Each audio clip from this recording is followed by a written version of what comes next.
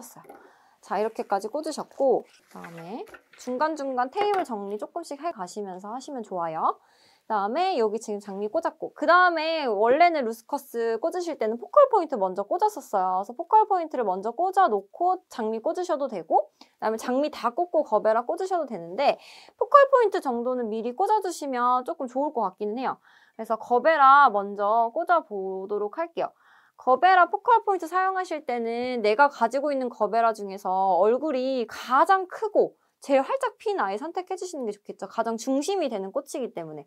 그래서 모든 focal point 꽂으실 때는 얼굴이 가장 큰 거베라를 사용해 주신다라고 기억하시면 좋을 것 같아요.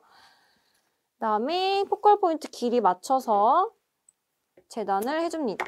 조금 여유 있게 재단을 해줬어요.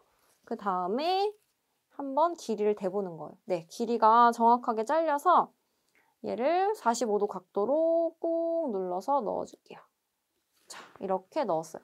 그랬더니 지금 중심에 가장 예쁜 거베라 하나가 이렇게 들어가 있어요. 그래서 거베라 요걸 포컬 포인트다라고 보시면 돼요. 그래서 포컬 포인트 위치 잘 보시고 어, 그 다음에 형태가 조금 더 또렷하게 보이는 가장 좋은 방법은 이 꽃들의 간격인데요. 이 꽃들이 이렇게 너무 삐뚤, 이렇게 삐뚤하게 있으면 아무리 그 위치에 꽂아도 형태가 예쁘게 안 보여요. 그래서 얘가 이렇게 일자로 꽂힐 수 있도록 여기도 일자로 앞에 나중에 꽂으실 때도 최대한 일자로 이런 간격들 잘 맞춰서 꽂으시는 것도 굉장히 중요합니다.